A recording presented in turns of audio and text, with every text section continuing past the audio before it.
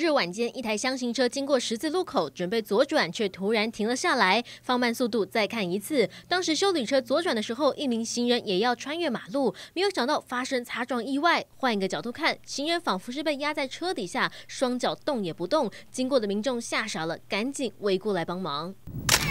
车头被撞凹，保险杆破裂，修理车撞倒行人，重伤送医。车祸意外就发生在九号晚间九点半，新北市细致的十字路口。当时发生车祸地点就是在这个路口，驾驶左转的时候疑似没有注意到正要通过斑马线的行人，于是发生擦撞。调查发现，二十八岁的黄姓驾驶左转同心路的时候，视线疑似被遮住，没有看到三十八岁的蔡姓女子正要通行，把她硬生生撞倒在地，左手骨折，紧急送医。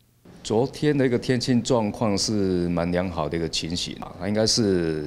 被 A 柱所挡到，所以没有看到正在行走的一个路人。另外，发生在新北市土城，一名女子没有驾照还开车上路，没有想到却因为突然晃神，刹车不及，追撞前方四台停等红灯的车辆。没有想到，也在同一天同一条路上，一名考驾照七年却从来没有开车的男子，错把油门当刹车，一路失控发生擦撞，撞毁将近四十台机车。新北市一天之内接连发生车祸意外，都是因为驾驶晃神，没有注意路况酿祸，害得用路人。无辜遭殃。记者陈家豪、李杰，新北市采访报道。